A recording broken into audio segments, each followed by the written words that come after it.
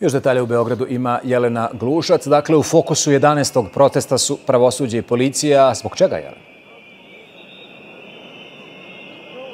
Evo, Saša, nadovezat ću se možda najpre na ovo što smo čuli od Smiljana Banjca, kolege i moderatora protesta, s obzirom na to da ove zahteve slušamo već 11 nedelja iz subote u subotu, iz petka u petak, kako god hoćete, zagazali smo duboko u leto, u pravi toplotni talas, u temperaturu od 40 stepeni, zbog čega su organizatori protesta i pomerali e, ovaj protest sa 18 na 19 sati, ne bili e, malo e, pobegli toj vrućini. I zbog toga hoću u ovom trenutku samo najpre da pogledamo po dubini ulicu Kneza Miloša. Moram reći da mi je na početku pre nekih sat vremena delovalo da neće ovaj protest okupiti toliki broj ljudi kao prethodnih puta, upravo zbog razloga koje sam navela, prosto su i odmori počeli fizičke više, fizičke manje ljudi u gradu, međutim mi evo već prethodnih pola sata prisustujemo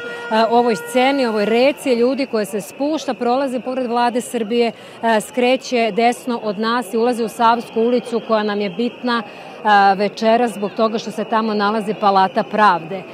Zašto pravosuđe i policija? Pa ove se dve teme nadovezuju zapravo na protest od prošle nedelje kada su u fokusu bili inspektori Beogradske policije Slobodan Milenković i Dušan Mitić koji su otkrili aferu Jovanjica koja je, podsjetiću, po optužnici definisana kao najveća fabrika skanka u Evropi i spomenuo si i ti u svojoj najavi da se traži smena Aleksandra Vulina, da se traži smena Bratislava Gašića, nije do tih smena došlo. Međutim, mi smo u ovoj nedelji imali nove događaje, nove elemente koje su organizatore samo, koji su samo njima učvrstili taj stav da su u pravu kada traže smene ovih ljudi. Podsjetit ću da je ove nedelje inspektor Mitić u slučaju Jovanjica posvedočio o tome da je zapravo namera njega i njegovih kolega bila hapšenje tadašnjeg direktora Bezbednostne informativne agencije, sada ministra policije Bratislava Gašića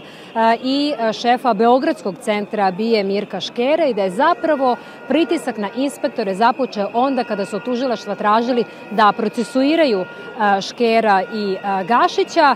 Sa druge strane, sadašnji direktor Bezbednostne informativne agencije Aleksandar Vulin ove nedelje stavljen pod sankcije Sjedinih američkih država zbog sumnji na korupciju, umešanost u trgovinu drogom i veze sa Rusijom. Nijedna institucija u Srbiji nije na ovo reagovala, nije se oglasilo tužilaštvo, nije se oglasila vlada koja po zakonu o Bezbednostnoj informativnoj agenciji je ta koja imenuje i razrešava direktora ABIje i to je za organizatore još jedan dokaz da institucije u Srbiji ne funkcionišu, da iz afere u aferu samo ćute. Zbog toga ova ruta večeras sa ovim temama koje se spomenuo ide ka Palati pravde, to je zgrada u kojoj se nalazi Viši sud u Beogradu, koji je prema rečima organizatora čutao ne samo na ove, već i na mnoge afere. Pre ove tamo će se okupljenima obratiti nekadašnji sudija Vrhovnog suda Zoran Ivošević, a šetnja se nastavlja ka Mostarskoj petlji. Kad kaže Mostarska petlja, to zapravo znači da će biti blokiran deo autoputa koji prolazi kroz Beograd i to prema rečima organizatora do 22 sata. Jelena Glušac uživo iz Beograda, hvala ti na svim detaljima. Dakle, građani Srbije